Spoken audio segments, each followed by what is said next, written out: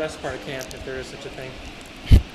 Just getting back out on the field. Uh, like I said, uh, I just haven't been used to doing all the movement and getting back used to um, tail motion and cut blocking and just getting back into the routine Yeah. and finding my rhythm. Did you say maybe you enjoyed this camp? Yeah. Senior year, so I mean, just excited. So. Um,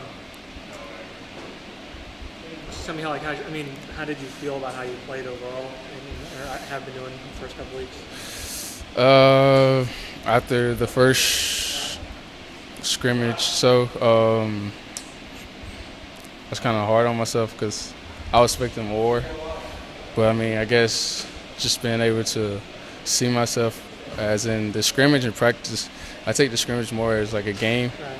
and then so going changing over to practice, just taking practice more as games now. So taking more practice reps as game reps, so going full speed and transforming over to the scrimmage, and trying to take uh, just going fast and be able to perform. Yeah.